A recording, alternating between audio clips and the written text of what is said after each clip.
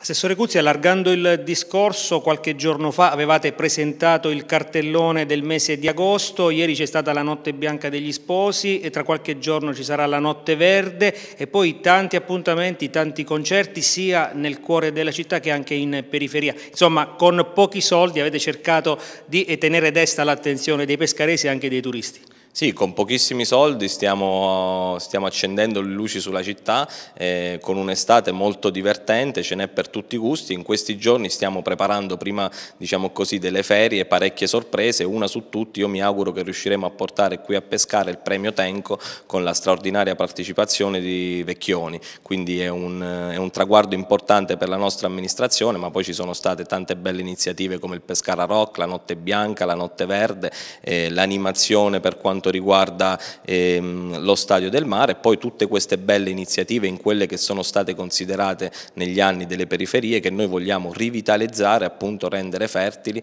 e pieni di momenti interessanti che aumentano e migliorano la qualità della vita dei nostri residenti.